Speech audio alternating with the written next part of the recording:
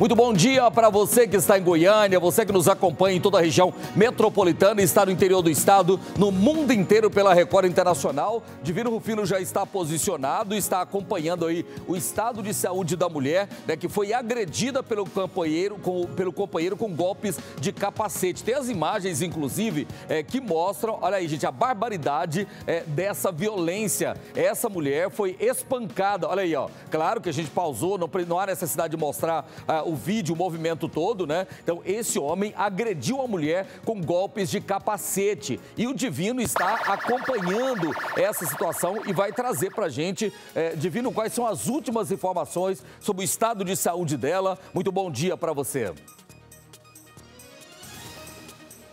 Bom dia, Luares. Bom dia a todos que estão ligados na Record TV Goiás.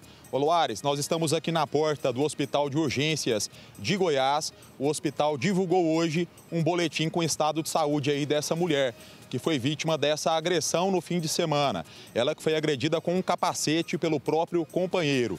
Segundo o hospital, o estado de saúde dela é grave, ela está entubada e sedada. Daqui a pouquinho a gente vai conversar com o comandante da Guarda Civil de Aparecida de Goiânia, que vai contar para a gente como foi o atendimento aí dessa ocorrência.